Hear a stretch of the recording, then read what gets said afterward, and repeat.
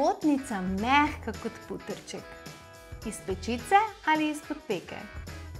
Itak, da je najboljša hobotnica izpod peke, ker je že sama priprava oglja eno posebno doživetje.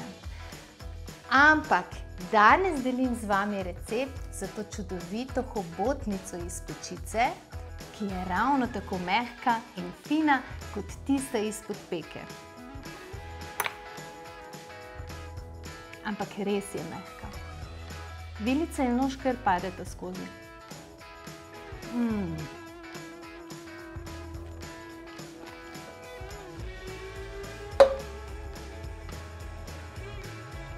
Pečico nastavimo na 200 stopinj Celzija, ogrevanje zgoraj in spodaj. Hobotnica bo veliko mehkejša, če je bila predhodno zamrznjena. Torej, zamrznjeno hobotnico najprej odtalimo in če ni bila očiščena, jo očistimo. Odstranimo vse, kar se nahaja v glavi. Tale naša je že očiščena.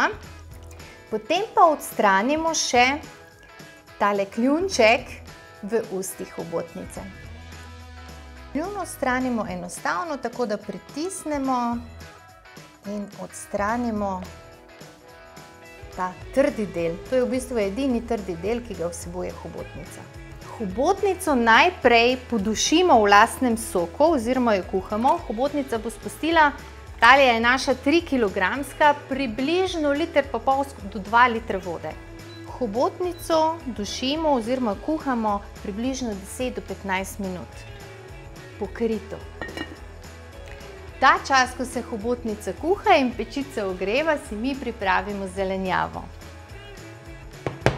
Potrebujemo približno kilogram krompirja. Kolikor imamo mlad krompir, ga ne rabimo lupiti, lahko ga samo uh, grobo zdrgnemo, narežemo na večje kose in damo peč k hobotnici. No, gledamo našo hobotnico. Po približno treh minutah kuhanja je spustila že veliko vode. Potrebujemo še približno dva ali pa tri korenčke, odvisno kako so veliki. Jaz rada korenje olupim, lahko pa ga samo dobro zdrgnete. Zelenjavo operemo, potem pa še narežemo na večje kose.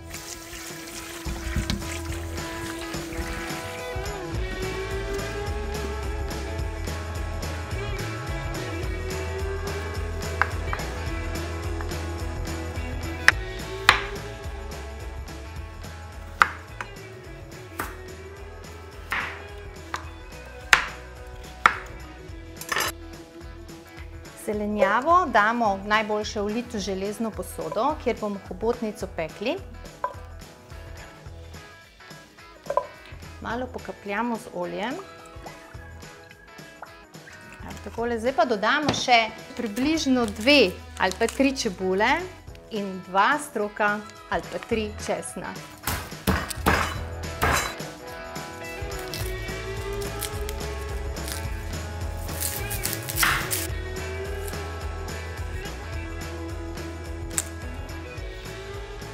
Čebulo samo grobo narežemo na večje kose, ker bodo, ko se bo čebula pekla, bo dobila tak sladkast okus. Zdaj pa še trik, ki so me ga naučili dalmatinci. V sredino zelenjave damo en velik paradižnik, ta bo med peko sprostil sladko-kiselkast sok.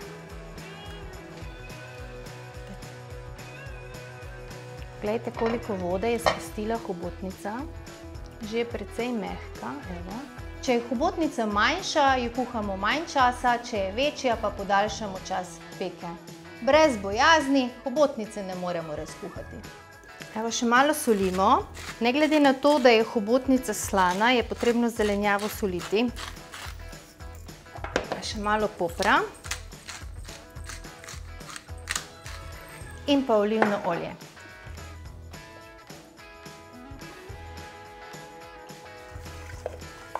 Jaz sem uporabila približno pol decilitra olivnega olja, ne šparamo. Paradižnik v sredino nazaj. Dodajamo še približno pol decilitra do deciliter suhega vina. Zdaj bom uporabila renski rizling. Lahko pa uporabite tudi malvazi, ampak naj bo vino kvalitetno. Zdaj pa dodamo hobotnico. Zdaj pa hobotnico položimo kar na zelenjavo.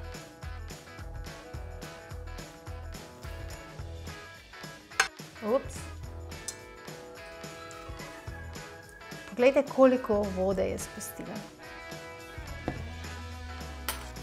Zelenjavo enakomerno razporedimo, pokrijemo in hobotnico pečemo v pečici približno 45 minut.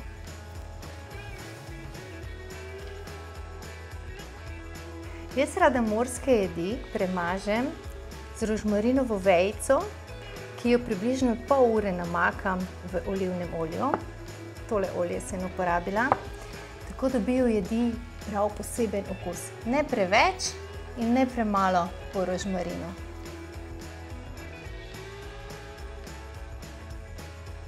Jaz rada uporabim stari kruh, na hitro ga popečem na olivnem olju in potem tisti popečen kruh namakamo v sos, ki se nabere pod hobotnico.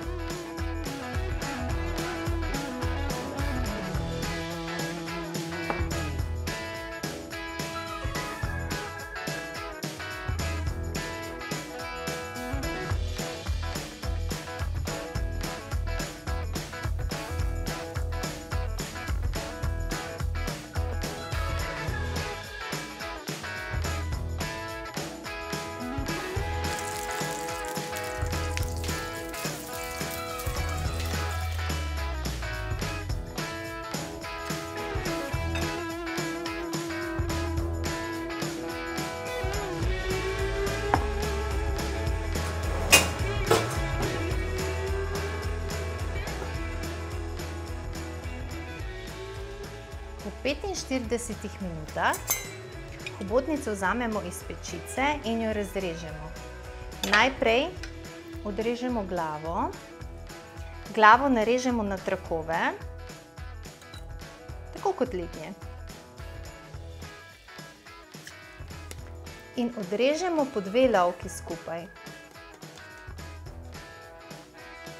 Hobotnica ima 8 lovk. Tukaj lahko vidimo, koliko tekočine je še hobotnica spustila. Kolikor je tekočine veliko, pustimo posodo v drugem delu peke malce odprto, da izpari tekočina.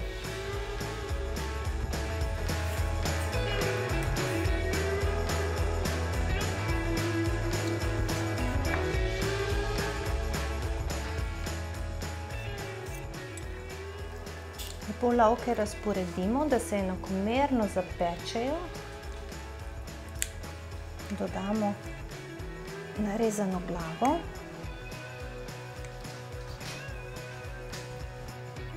Vse skupaj še malo premažemo z rožmarinovo vejico, ki jo pomočimo v olivno olje in potem damo peč. Zdaj pa odvisno, kako je hobotnica velika. Ta je precej velika in je precej tekočine, tako da jo bomo pekli še približno pol ure.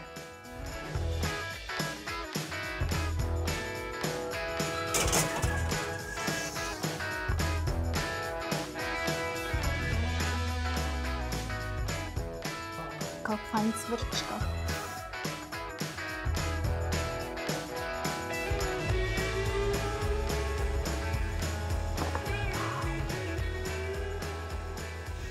Glej to, spodaj je še malo soka, omake.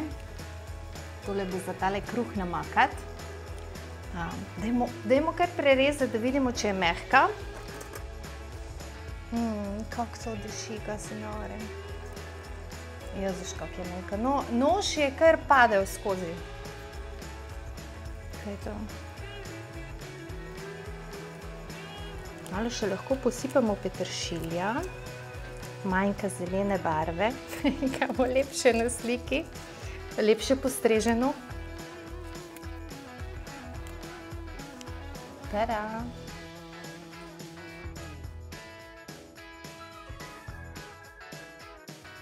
noro, kot juhica, hrustljavo zapečen kruh.